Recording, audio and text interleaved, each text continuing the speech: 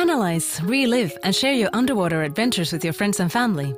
All you need to do is connect your D5 with the all-new Suunto app. You will need your Suunto D5, your phone with the latest version of Suunto app installed, and Bluetooth turned on. As a first step, ensure airplane mode is turned off on your dive computer. Long press the middle button to open the main menu. Go to General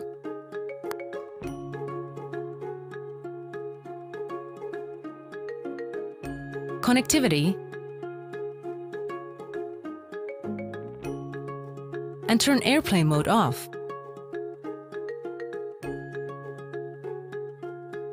Now your D5 is ready for pairing with Suunto app. Open up the app. Sign up or log in.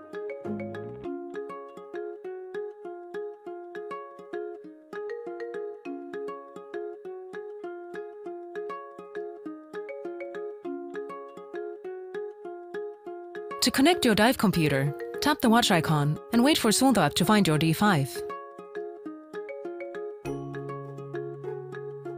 Now tap Pair. Enter the passkey you see on your D5.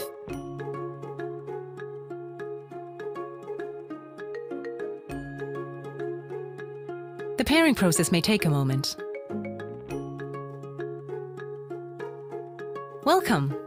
We prepared a brief overview of the core features of your D5 and how to use it with Suunto app. As a last step, let the app know with who you would like to share your dives with. Perfect! Now you're ready to dive deep with your new Suunto companions.